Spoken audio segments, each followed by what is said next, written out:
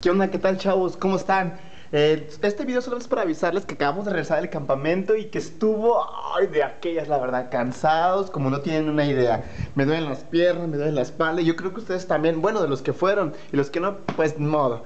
Ok, este, déjenme decirles que próximamente vamos a subir todos los videos y todas las fotografías para que disfruten todo lo que pasó en aquel lugar. Eh, mientras dejamos estos videos de aquí abajo, ok, nos vemos, chao.